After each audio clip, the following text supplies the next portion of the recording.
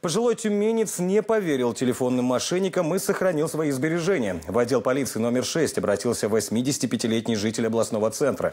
Он рассказал, что на домашний телефон позвонил молодой человек, представился его сыном и сообщил, что стал виновником ДТП, переходя дорогу в неположенном месте.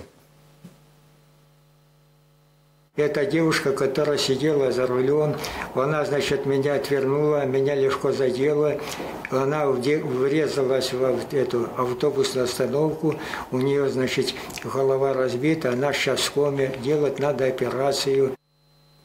Аферист оценил операцию в 500 тысяч рублей. Требование немедленно передать крупную сумму насторожило пенсионера. Он начал задавать дополнительные вопросы. Злоумышленник понял, что его замысел не увенчается успехом и сам прервал разговор.